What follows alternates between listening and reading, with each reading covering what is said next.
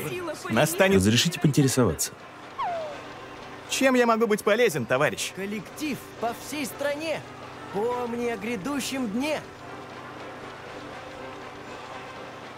Э, расскажите мне о космосе. Ну и вопрос. О нем можно бесконечно рассказывать и не сказать ничего по итогу.